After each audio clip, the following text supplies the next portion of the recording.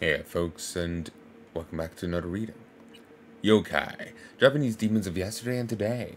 They make their homes on mountaintops, in rivers and oceans, on city streets, in every mega four building, uh, every mega building four with a number four in it, even in your washing machine or your info visor.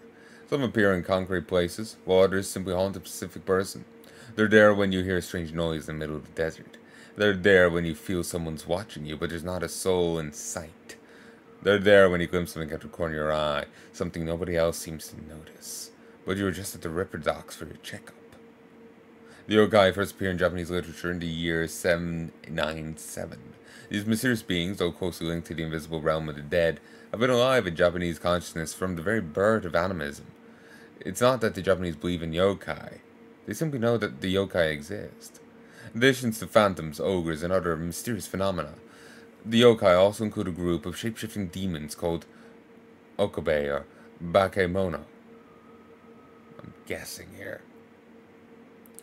The Bakemono are said to sometimes take the form of a faceless person, a one-eyed scarecrow, or an animal.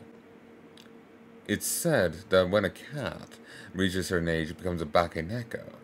These yokai are able to walk on their two hind legs, speak and dance, assume human form, or even devour their owners and take their place. The Bakeneko sometimes visit people in their sleep, or even wake the dead. All they have to do is hop over a corpse to bring it suddenly back to life. However, the demons are capable of much, much more, which should exercise extreme caution around the double-tailed cat. This is a Nekomata, a yokai with shamanic and necromantic capabilities It to place curses on people and control the dead. In its human form, a Nekomata resembles an old woman, often one addicted to some substance or another, and with an eerie, disturbing air about her.